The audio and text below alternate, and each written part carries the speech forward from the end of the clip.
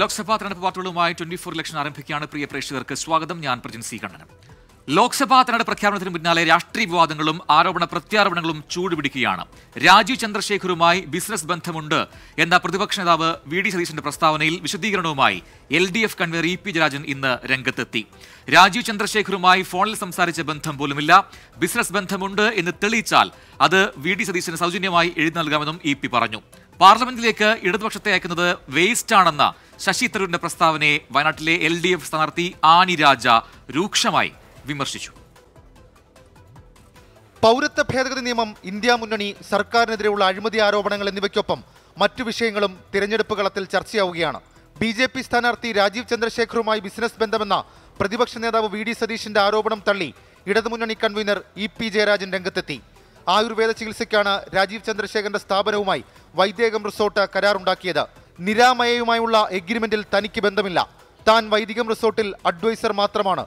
Rajeev ചന്ദ്രശേഖറുമായി business ബന്ധമുണ്ടെന്ന് തെളിയിച്ചാൽ അത് V D സതീശന് സൗജന്യമായി എഴുതി നൽകാമെന്നും ഇ പി ജയരാജൻ. രാജീവ് ചന്ദ്രശേഖരനെ തന്നെ ഇന്ന് വരെ ഞാൻ അടുത്ത് കണ്ടിട്ടില്ല. രാജീവ് ചന്ദ്രശേഖരുമായിട്ട് എനിക്ക് ഫോണിൽ സംസാരിച്ച ബന്ധം പോലുമില്ല. രാജീവ് ചന്ദ്രശേഖരനെ എവിടെയുള്ള ആളുകൾ കാണുന്ന പോലെ പത്രത്തിൽ പടത്തിൽ കാണുന്നതാണ്. ശശി തരൂരിന്റെ പ്രസ്താവനയ്ക്കെതിരെ ആഞ്ഞടിച്ച് വയനാട്ടിലെ എൽ ഡി എഫ് സ്ഥാനാർത്ഥി ആനി രാജയും രംഗത്തെത്തി. രാജ്യം കടന്നുപോകുന്ന സ്ഥിതിയെക്കുറിച്ച് ശശി തരൂരിന് ബോധ്യമില്ലെന്നും വിമർശനം. ഫാസിസ്റ്റ് ശക്തികളോട് ഏറ്റുമുട്ടി എല്ലാവിധ മർദ്ദനങ്ങളും അനുഭവിക്കുന്ന കേസുകൾ അനുഭവിക്കുന്ന അതാര് എന്നുള്ള ചോദ്യം ശശി തരൂരിനോട് ചോദിക്കുവാണ്. കോൺഗ്രസ് നേതാക്കളുടെ കൂടുമാറ്റം ഉൾപ്പെടെ കണക്കിലെടുത്ത് ജനങ്ങൾ ജാഗ്രതയോടെയാണ് തെരഞ്ഞെടുപ്പിനെ സമീപിക്കുന്നതെന്ന് ജോസ് കെ മാണിയും പ്രതികരിച്ചു. ജനാധിപത്യത്തെ ഇന്ന് ബി ജെ പി പലപ്പോഴും ഹൈജാക്ക് ചെയ്യുകയാണ് കഴിഞ്ഞ പത്ത് വർഷക്കാലം എടുത്തു കഴിഞ്ഞാൽ പലരും പല പാർട്ടികൾപ്പെട്ടവരും അല്ലെങ്കിൽ സ്വതന്ത്ര സ്ഥാനാർത്ഥികളായി നിന്ന് ജയിച്ചവരും ഇന്ന് ബി ജെ പിയിലേക്ക് ചേക്കേറുന്നു. മതധ്രുവീകരണം രാജ്യത്തെ സൗഹാർദ്ദ അന്തരീക്ഷം തകർത്തുവെന്ന് ചൂണ്ടിക്കാട്ടി തിരുവനന്തപുരം ലത്തീൻ അതിരൂപതകളിലെ പള്ളികളിൽ സർക്കുലർ വായിച്ചു. രാജ്യത്തിന്റെ സമാധാനത്തിനും ഐക്യത്തിനും വേണ്ടി ഉപവാസ പ്രാർത്ഥനാ ദിനമാചരിക്കാൻ സർക്കുലറിൽ ആഹ്വാനം ചെയ്തു.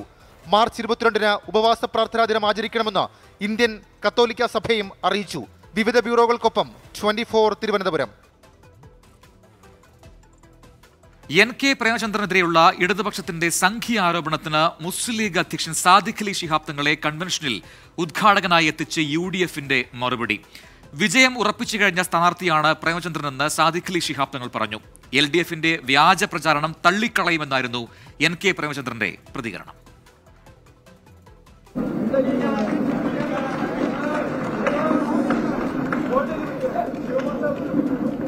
രണ്ട് തെരഞ്ഞെടുപ്പുകളിൽ പരീക്ഷിച്ചു പരാജയപ്പെട്ട സംഖ്യാരോപണം തന്നെയാണ് ഇത്തവണയും പ്രേമചന്ദ്രനെതിരെ ഇടതുമുന്നണി മുന്നോട്ട് വയ്ക്കുന്നത്. ന്യൂനപക്ഷ വോട്ടുകൾ ലക്ഷ്യം വെച്ചുള്ള ഇടതുനീക്കം മനസ്സിലാക്കിയ U D F Muslim League അധ്യക്ഷൻ സാദിഖ് അലി ശിഹാബ് തങ്ങളെ പ്രേമചന്ദ്രന്റെ മണ്ഡലം കൺവെൻഷന്റെ ഉദ്ഘാടകനായി എത്തിച്ചാണ് മറുപടി നൽകിയത്. പ്രേമചന്ദ്രന്റെ പാർലമെന്ററി മികവിനെയും പൊതുസ്വീകാര്യതയെയും പ്രശംസിച്ച സാദിഖ് അലി ശിഹാബ് തങ്ങൾ ജയം ഉറപ്പാണെന്നും പറഞ്ഞു. നമ്മുടെ പ്രിയങ്കരനായ സ്ഥാനാർത്ഥി ശ്രീ പ്രേമചന്ദ്രൻ അവർ അദ്ദേഹം വിജയം ഉറപ്പിച്ചു കഴിഞ്ഞിട്ടുണ്ട്. എന്നാലും സാങ്കേതികമായിട്ട് അദ്ദേഹത്തെ നമുക്ക് ജയിപ്പിക്കണം. മീൻവെട്ടിയും മൺകൂരിയും എന്നുള്ള അദ്ദേഹത്തിന്റെ ചിഹ്നം ഐക്യ ജനാധിപത്യ മുന്നണിയുടെ ചിഹ്നം. കേരളത്തിലെ ഇരുപത് ലോക്സഭാ മണ്ഡലങ്ങളിലും ഇന്ത്യൻ യൂണിയൻ മുസ്ലിം ലീഗിന്റെ സ്ഥാനാർത്ഥികൾ തന്നെയാണ് മത്സരിക്കുന്നത്. അവരുടെയൊക്കെ വിജയത്തിന് വേണ്ടി പ്രവർത്തിക്കുവാൻ മുസ്ലിം ലീഗ് പ്രവർത്തകന്മാരും തയ്യാറാകണം. ന്യൂനപക്ഷ വോട്ടുകളിൽ വിള്ളലുണ്ടാകാതിരിക്കാൻ ലീഗ് സംസ്ഥാന നേതാക്കൾ തന്നെ മണ്ഡലത്തിൽ ക്യാമ്പ് ചെയ്താണ് പ്രചാരണ പ്രവർത്തനങ്ങൾക്ക് നേതൃത്വം നൽകുന്നത്. തന്റെ രാഷ്ട്രീയ അസ്തിത്വത്തെ ചോദ്യം ചെയ്യുന്നതിലൂടെ ഭരണപരാജയം മറച്ചുവെക്കാനാണ് ഇടതുമുന്നണി ഇത്തരം വ്യാജ പ്രചാരണം നടത്തുന്നതെന്ന് എൻ കെ പ്രേമചന്ദ്രനും പറഞ്ഞു. ഞങ്ങൾക്ക് ജനങ്ങളെ നന്നായിട്ടറിയാം. ജനങ്ങൾക്കും ഞങ്ങളെ നന്നായിട്ടറിയാം എന്നുള്ളത് കൊണ്ട് തന്നെ നിങ്ങളുടെ പ്രതിലോമകരമായ പ്രചാര പ്രവർത്തനങ്ങളെ അതിജീവിച്ചുകൊണ്ട് വർദ്ധിത ശക്തിയോടുകൂടി തിരിച്ചു വരാൻ ഈ തെരഞ്ഞെടുപ്പിലും കഴിയുമെന്നുള്ള ആത്മവിശ്വാസത്തോടു കൂടിയാണ് ശുഭാപ്തി വിശ്വാസത്തോടു കൂടിയാണ് ഈ തെരഞ്ഞെടുപ്പ് മത്സരത്തിൽ ഞങ്ങൾ മുന്നോട്ട് പോകുന്നത്. മുകേഷ് എത്തിയതോടെ പരാജയഭീതിയിലാണ് യു ഡി എഫും പ്രേമചന്ദ്രനും എന്നാണ് ഇടതുമുന്നണിയുടെ വാദം. വിമർശനം വാനോളം ഉണ്ടാകുമ്പോഴും വ്യക്തിപരമായ അധിക്ഷേപങ്ങൾ ഉണ്ടാകാതിരിക്കാനുള്ള ജാഗ്രതയും ഇരുകൂട്ടരും പുലർത്തുന്നുണ്ട്. ട്വന്റി കൊല്ലം. തനിക്കെതിരായ വ്യാജ പ്രചാരണത്തിൽ പ്രതികരിച്ച് കൊല്ലം എൽ ഡി എഫ് സ്ഥാനാർത്ഥി എം മുകേഷും ഇന്ന് രംഗത്തെത്തി. തന്റെ ദേഹത്ത് മീൻവെള്ളം ഒഴിച്ചു എന്ന വ്യാജ പ്രചാരണം മറ്റൊന്നും തനിക്കെതിരെ കിട്ടാത്തതുകൊണ്ടാണെന്ന് മുകേഷ് പറഞ്ഞു. മീൻവെള്ളം മോശമല്ലെന്നും തീരദേശമായ കൊല്ലംകാർക്ക് മീൻവെള്ളം നാറില്ലെന്നും എം മുകേഷ് പറഞ്ഞു. പെൻഷൻ ലഭിക്കാത്തതിൽ പ്രതിഷേധിച്ച് നാട്ടുകാർ വോട്ട് അഭ്യർത്ഥിച്ചെത്തിയ മുകേഷിന്റെ ദേഹത്ത് മീൻ വെള്ളം ഒഴിച്ചു എന്നായിരുന്നു ട്വന്റി ഫോറിന്റെ പേരിൽ വ്യാജ പ്രചാരണം. ഒരു സ്ഥലത്ത് സ്റ്റേണായിട്ട് നിൽക്കുന്ന എൽ ഡി എഫ് ഭരണം എൽ ഡി എഫിന്റെ പ്രസക്തി ഇപ്പോൾ എൽ ഡി എഫ് ജയിക്കേണ്ട ആവശ്യകത ഇതെല്ലാം തന്നെ അറിയാം. അപ്പോൾ അതിന്റെ ഒരു എന്താ പറയുന്നത് ഒരു വേവലാതിയോ ഒരു ഭയമോ ഒക്കെ വെച്ചിട്ടാണ് ഇങ്ങനെയുള്ള കാര്യങ്ങൾ ചെയ്യുന്നതെന്നാണ് പ്രഥമ ദൃഷ്ടിയെ നമ്മൾ മനസ്സിലാക്കേണ്ടത്. എനിക്ക് അവരോടൊക്കെ പറയാനുള്ള ഒറ്റ കാര്യം മീൻവെള്ളം എന്താ മോശമാണ്? ഇവിടെ കഴിഞ്ഞ ഇലക്ഷൻ എന്നെ തോപ്പിക്കാൻ വേണ്ടി നേതാക്കന്മാർ വന്ന് കടലിൽ ചാടിയില്ലയോ അപ്പം മീൻ നല്ല സ്മെല്ലായിരുന്നു ഇപ്പം എന്റെ പുറത്തൊഴിച്ചപ്പം മീൻ വെള്ളം മോശം. അത് ഒരു മത്സ്യത്തൊഴിലാളികളെ ആക്ഷേപിക്കുന്നതിന് തുല്യമാണ് അവരെ ജോലി ആക്ഷേപിക്കുന്നതിന് തുല്യമാണ് അപ്പോൾ അതെല്ലാം മാറ്റിവെച്ചിട്ട് സ്ട്രൈറ്റ് നല്ല രീതിയിൽ മത്സരിക്കണം ജനങ്ങൾ തീരുമാനിക്കണം. ഇനി മുംബൈയിലേക്കാണ്. മുംബൈയിൽ ഇന്ന് കോൺഗ്രസിന്റെ നേതൃത്വത്തിൽ ഇന്ത്യ മുന്നണിയുടെ ശക്തി പ്രകടന റാലി നടക്കാൻ പോവുകയാണ്. വൈകിട്ട് അഞ്ചു മണിയോടെ ശിവാജി പാർക്കിലാണ് പരിപാടി. ഇന്ത്യ മുന്നണിയിലെ പ്രധാനപ്പെട്ട എല്ലാ നേതാക്കളും എത്തും എന്നാണ് കോൺഗ്രസിന്റെ അവകാശവാദം. ശ്രീനാഥ് ചന്ദ്രൻ മുംബൈയിൽ നിന്നും ശിവാജി പാർക്കിൽ നിന്നും നൽകും ഏറ്റവും പുതിയ അപ്ഡേറ്റുകൾ. ശ്രീനാഥ് അഞ്ചു മണിക്കാണ് റാലി പറഞ്ഞിരിക്കുന്നത്. ഒരു വലിയ ശക്തി പ്രകടനം അത് ഉണ്ടാക്കുക. ഇലക്ഷന്റെ ഡേറ്റ് പ്രഖ്യാപിച്ചു കഴിഞ്ഞു. അപ്പോൾ ഇന്ത്യ മുന്നണിക്ക് നിർണായകമാണ് ഇന്നത്തെ റാലി. ഈ ബീഹാറിൽ കണ്ടതുപോലെ എല്ലാ നേതാക്കളും പങ്കെടുപ്പിച്ചുകൊണ്ടുള്ള ആ ഒരു ശക്തി പ്രകടനം. അത് തന്നെയാണോ കോൺഗ്രസ് ലക്ഷ്യമിടുന്നത്? എന്താണ് നമുക്ക് ലഭിക്കുന്ന അവസാന സൂചനകൾ? ഏതൊക്കെ നേതാക്കൾ എത്തിയിട്ടുണ്ട് മുംബൈയിൽ? ഏതായാലും ഇത് ഇതിനോടകം തന്നെ എം കെ സ്റ്റാലിൻ അടക്കമുള്ള ചില നേതാക്കൾ മുംബൈയിൽ എത്തിയിട്ടുണ്ട്. പിന്നെ മഹാരാഷ്ട്രയിൽ തന്നെയുള്ള മഹാവികാസ് അഘാഡിയിലെ എല്ലാ നേതാക്കളും എത്തുകയും ചെയ്യും. അതിനപ്പുറത്തേക്ക് തേജസ്വി യാദവ് അടക്കമുള്ള ജാർഖണ്ഡ് മുഖ്യമന്ത്രി അടക്കമുള്ള ആളുകളൊക്കെ തന്നെ വരേണ്ടതുണ്ട്. ഇടതു പാർട്ടികളുടെ കാര്യത്തിൽ മാത്രമാണ് ഇപ്പോഴും ഒരു ആശയക്കുഴപ്പം അവിടെ നിലനിൽക്കുന്നത്. ഏതായാലും പാർട്ടികളെ ഔദ്യോഗികമായി തന്നെ കോൺഗ്രസ് അധ്യക്ഷൻ ക്ഷണിച്ചിട്ടുണ്ട്. പക്ഷേ ഇപ്പോഴും പങ്കെടുക്കുമെന്നുള്ള ഉറപ്പ് ഇവിടെ ലഭിച്ചിട്ടില്ല. ഇപ്പോൾ സമയം ഏതാണ്ട് മൂന്ന് മണി കഴിഞ്ഞു. ഇങ്ങനെയാണെങ്കിൽ ഒരുപക്ഷെ അവർ പങ്കെടുക്കാനുള്ള സാധ്യത ഇല്ല എന്നതാണ് ഏറ്റവും ഒടുവിൽ നമുക്ക് മനസ്സിലാക്കാൻ വേണ്ടി കഴിയുന്നത്. മുംബൈയിൽ ഇതിനു മുമ്പ് ഇന്ത്യ മുന്നണിയുടെ യോഗം നടന്നിരുന്നു. ആ സമയം ഉണ്ടായിരുന്ന പാർട്ടികളിൽ പലരും ചിലർ പാർട്ടി മുന്നണി വിട്ടുപോയി ചിലർ മുന്നണിയിൽ നിന്ന് അകന്നു നിൽക്കുന്നു. സീറ്റ് ചർച്ചയിലേക്ക് വന്നപ്പോൾ സ്വയം സീറ്റ് പ്രഖ്യാപിക്കുന്ന സാഹചര്യത്തിലേക്ക് പോയി. ബംഗാളിലടക്കം നമ്മൾ അങ്ങനെ കണ്ടതാണ്.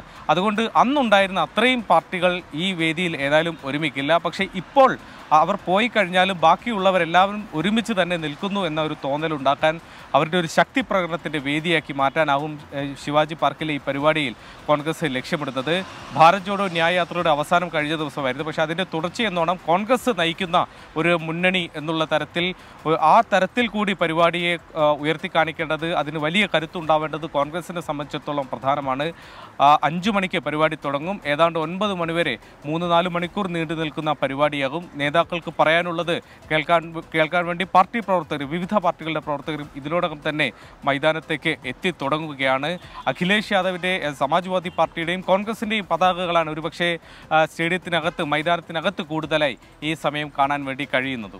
ശരി ശ്രീധ എന്തായാലും ആ റാലിയിൽ ആരൊക്കെ പങ്കെടുക്കുന്നു എന്തൊക്കെ നിലപാടുകൾ പറയുന്നു എത്രമാത്രം ആൾക്കാർ എത്തുന്നു എന്നതൊക്കെ തന്നെ ഈ തെരഞ്ഞെടുപ്പിനെ ഏറെ നിർണയിക്കുന്ന ഘടകമാണ്. അതുമാത്രമല്ല ആ മുന്നണിക്ക് അത് ആത്മവിശ്വാസം നൽകുന്നതുമായിരിക്കും. കാത്തിരുന്ന് കാണാം അഞ്ചു മണിക്കാണ് റാലി. ശ്രീതാചന്ദ്രനാണ് മുംബൈയിൽ നിന്ന് വിശദാംശങ്ങൾ നൽകിയത്.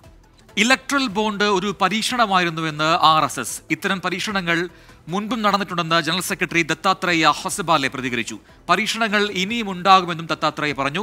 ജനറൽ സെക്രട്ടറിയായി ആർ എസ് എസ് പ്രതിനിധി സഭ വീണ്ടും തെരഞ്ഞെടുത്തതിന് പിന്നാലെയുള്ള വാർത്താ സമ്മേളനത്തിലാണ് ഈ പ്രതികരണം ഉണ്ടായിരിക്കുന്നത്. ശ്രീനാഥ് ചന്ദ്രൻ ഒരിക്കൽ കൂടി മുംബൈയിൽ നിന്ന് ചെയ്തിട്ടുണ്ട്. ശ്രീനാഥ് ഈ ഇലക്ട്രൽ ബോണ്ടുമായി ബന്ധപ്പെട്ടുകൊണ്ടുള്ള കേസ് അതിന്റെ അതിലെ സുപ്രീം കോടതിയുടെ ഇടപെടൽ അതേ തുടർന്ന് വരുന്ന പുതിയ വിവരങ്ങൾ അതിന് പിന്നാലെയാണ് ആർ എസ് എസിൽ നിന്നും ഇത്തരം ഒരു പ്രതികരണം വന്നിരിക്കുന്നത്. എന്താണ് സാഹചര്യം എന്താണ് ഈ പ്രതികരണത്തിലൂടെ ആർ എസ് ജനറൽ സെക്രട്ടറി ഉദ്ദേശിച്ചത്? കഴിഞ്ഞ മൂന്ന് ദിവസമായി നാഗ്പൂരിൽ ആർ എസ് എസിന്റെ അഖില ഭാരതീയ പ്രതിനിധി സഭ ഏറ്റവും ഉയർന്ന ബോഡിയുടെ യോഗം നടക്കുകയായിരുന്നു. ആ യോഗത്തിനൊടുവിൽ ദത്താത്രേയ ഹോസ്ബാലയെ തന്നെ വീണ്ടും ഒരിക്കൽ കൂടി ജനറൽ സെക്രട്ടറിയെ തെരഞ്ഞെടുത്തു. രണ്ടായിരത്തി ഒന്ന് മുതൽ അദ്ദേഹം ചുമതലയേൽക്കുന്നു. അതിനുശേഷം നടന്ന വാർത്താ സമ്മേളനത്തിലാണ് ഇലക്ട്രോറൽ ബോണ്ടുമായി ബന്ധപ്പെട്ട ചോദ്യങ്ങൾക്ക് അദ്ദേഹത്തിന്റെ ഭാഗത്തു നിന്ന് പ്രതികരണം ഉണ്ടായത്. ഈ ഈ മൂന്ന് ദിവസത്തെ യോഗത്തിൽ ഏതൊക്കെ വിഷയങ്ങൾ ചർച്ചയായി എന്നത് അദ്ദേഹം വിശദീകരിക്കുന്നതിനിടെയാണ് ഇലക്ട്രോറൽ ബോണ്ടുമായി ബന്ധപ്പെട്ട ചോദ്യങ്ങൾ വന്നത്. പക്ഷേ ആ വിഷയം ആർ എസ് എസിന്റെ എസിന്റെ ഈ പ്രതിനിധി സഭയിൽ ചർച്ചയായില്ല എന്ന് അദ്ദേഹം പറയുമ്പോൾ പോലും അതിലെ ഒരു നിലപാട് അദ്ദേഹം പറയുന്നുണ്ട്. ഇലക്ടോറൽ ബോണ്ട് ഒരു പരീക്ഷണമാണ്. ഇത്തരം പരീക്ഷണങ്ങൾ പല കാലഘട്ടങ്ങളിലും ഉണ്ടായിട്ടുണ്ട്. ഇത്തരം പരീക്ഷണങ്ങൾ ഇനിയും ഉണ്ടാകും. അതിന്റെ ശരി തെറ്റുകളൊക്കെ പിന്നീട് വിശകലനം ചെയ്യാം. പക്ഷേ ഇത്തരം പരീക്ഷണങ്ങൾ ഉണ്ടാവും ഉണ്ടാവേണ്ടതാണ് എന്നൊരു നിലപാട് അദ്ദേഹം പറയുമ്പോൾ അത് സർക്കാരിന്റെ ഈ- ഈ ഘട്ടത്തിൽ ഇലക്ട്രോറൽ ബോണ്ടുമായി ബന്ധപ്പെട്ട് ബി ജെ പിക്കെതിരെ പല ചോദ്യങ്ങൾ വരുമ്പോൾ അതിനെ പ്രതിരോധിക്കുന്ന തരത്തിലുള്ള ഒരു പ്രതികരണമാണ് ആർ എസ് എസിന്റെ ഭാഗത്ത് നിന്ന് ഉണ്ടാവുന്നത്. ചില വിഷയങ്ങളിലൊക്കെ പലപ്പോഴും R S S B J P സർക്കാർ എടുക്കുന്ന നിലപാടുകൾക്ക് വിരുദ്ധമായ നിലപാടുകൾ എടുത്തിട്ടുണ്ടെങ്കിലും ഈ വിഷയത്തിൽ ഏതായാലും സംസ്ഥാന കേന്ദ്ര സർക്കാരിനെ പ്രതിരോധിക്കുന്ന തരത്തിലുള്ള ഒരു പ്രതികരണമാണ് ദത്താത്രേയ ഹൊസബാലയുടെ ഭാഗത്ത് നിന്ന് വന്നിട്ടുള്ളത്. ഏതായാലും ഈ വിഷയത്തിൽ കൂടുതൽ പ്രതികരണങ്ങൾക്ക് ഏതായാലും അദ്ദേഹം തയ്യാറായതുമില്ല. ശരി ശ്രീനാഥ്. മുംബൈയിൽ നിന്നുമാണ് ശ്രീനാഥ് വിശദാംശങ്ങൾ നൽകിയത്. ലോക്സഭാ തെരഞ്ഞെടുപ്പിൽ വടകര മണ്ഡലത്തിൽ ടി പി ചന്ദ്രശേഖരൻ വധക്കേസ് ചർച്ചയാക്കിയുള്ള പ്രചാരണം ശക്തമാക്കുകയാണ് യു ഡി എഫ് രണ്ടാം ഘട്ടത്തിൽ മണ്ഡലത്തിൽ പ്രത്യേക ക്യാമ്പയിൻ സംഘടിപ്പിക്കാനാണ് യു ഡി എഫിന്റെ തീരുമാനം. കമ്മ്യൂണിസ്റ്റ് പോരാട്ടങ്ങളുടെ പാരമ്പര്യമുള്ള വടകരയിൽ തുടർച്ചയായി മൂന്ന് തവണ യു ഡി എഫ് വിജയിച്ചതിനു പിന്നിൽ ടി പി എന്നൊരു സാന്നിധ്യമുണ്ട്. രണ്ടായിരത്തി ഒൻപതിൽ സ്വതന്ത്രനായി മത്സരിച്ച് ഇരുപതിനായിരത്തിലേറെ വോട്ട് നേടി എൽ ഡി എഫ് പരാജയത്തിൽ നിർണായക പങ്കുവഹിച്ചുവെങ്കിൽ രണ്ടായിരത്തി പതിനാലിലും പത്തൊൻപതിലും ടി പി അദൃശ്യ സാന്നിധ്യമായി.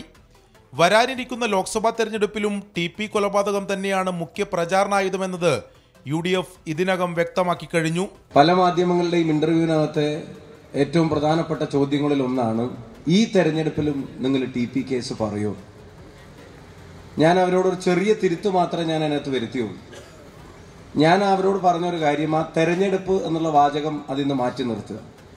ഞങ്ങൾ ടി പി കേസ് ഇന്നലെ പറഞ്ഞിട്ടുണ്ട്. ഞങ്ങൾ ടി പി കേസ് ഇന്ന് പറഞ്ഞുകൊണ്ടിരിക്കുന്നുണ്ട്. ഞങ്ങൾ ടി പി കേസ് നാളെയും പറയും എന്ന കാര്യത്തിന് ഒരു സംശയവും വേണ്ട എന്ന് പറഞ്ഞു.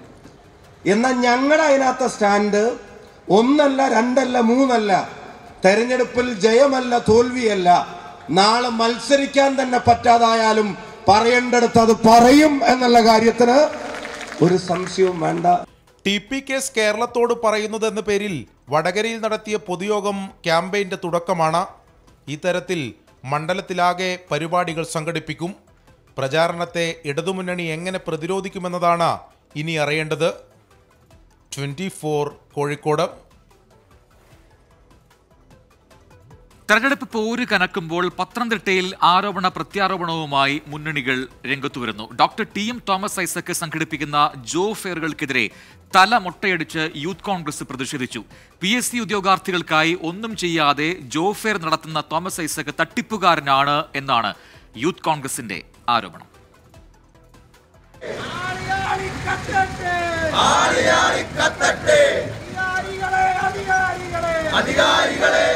ചൂടിനൊപ്പം പത്തനംതിട്ടയിൽ തെരഞ്ഞെടുപ്പ് ചൂടും കനക്കുകയാണ്. ഇവിടെ ആകെ ചർച്ച മൈഗ്രേഷൻ കോൺക്ലേവും വിജ്ഞാന പത്തനംതിട്ട പദ്ധതിയുമാണ്. ഐസക് കൊണ്ടുവന്ന വിജ്ഞാന പത്തനംതിട്ട പദ്ധതി തട്ടിപ്പെന്നാണ് യൂത്ത് കോൺഗ്രസിന്റെ ആക്ഷേപം. തിരിച്ചടിച്ച ഇടതുപക്ഷവും രംഗത്തുണ്ട്. ചുരുങ്ങിയത് ഒരു മാസം കൊണ്ട് പതിനായിരം പേർക്കെങ്കിലും വിദേശത്തും സ്വദേശത്തുമായി തൊഴിൽ നൽകുമെന്ന മൈഗ്രേഷൻ കോൺക്ലേവ് പ്രഖ്യാപനമാണ് ഇപ്പോൾ രാഷ്ട്രീയ വിവാദത്തിന് വഴിവെച്ചിരിക്കുന്നത്. പത്തനംതിട്ട പാർലമെന്റ് മണ്ഡലത്തിൽ ഉൾപ്പെടുന്ന ഏഴു നിയമസഭാ മണ്ഡലങ്ങളിൽ പ്രത്യേകം ജോബ് സ്റ്റേഷനുകളും സജ്ജീകരിച്ചാണ് രജിസ്ട്രേഷൻ. ഇതുപക്ഷേ തട്ടിപ്പെന്നാണ് യൂത്ത് കോൺഗ്രസുകാർ പറയുന്നത്. ഈ പി എസ് സി റാങ്ക് ലിസ്റ്റിൽ ഉൾപ്പെട്ടിട്ടുള്ള നമ്മുടെ പ്രിയപ്പെട്ട സഹോദരൻ ശ്രീ ബിജിനാണ് വിട്ടിരിക്കുന്നത് ഇതുവരെയും നിയമനം കിട്ടിയിട്ടില്ല. മണ്ണ് വാരി തിന്നും തലമുണ്ടനം ചെയ്തും മുട്ടിലിഴഞ്ഞുമൊക്കെ നടക്കുന്ന ഏകദേശം കാലയളവോളം നടത്തിയ സമരം നമ്മളെല്ലാവരും കണ്ടതാണ്. വളരെ വേദനാജനകമായ ഒരു സമരം. ആ സമരം നിലനിൽക്കുമ്പോഴാണ് പ്രിയപ്പെട്ട തോമസ് ഐസക്കും മാർക്സിസ്റ്റ് കമ്മ്യൂണിസ്റ്റ് പ്രസ്ഥാനവും സർക്കാരും അടക്കമുള്ള ആളുകൾ ഈ പത്തനംതിട്ടയിൽ വന്ന് ഇങ്ങനെ ഒരു പക്ക പൊളിറ്റിക്കൽ ഗിമ്മിക്ക് കാണിക്കുന്നത്. യൂത്ത് കോൺഗ്രസ് ജില്ലാ വൈസ് പ്രസിഡന്റ് സലീൽ സാലിയുടെ നേതൃത്വത്തിൽ തലമുണ്ടനം ചെയ്തായിരുന്നു പ്രതിഷേധം.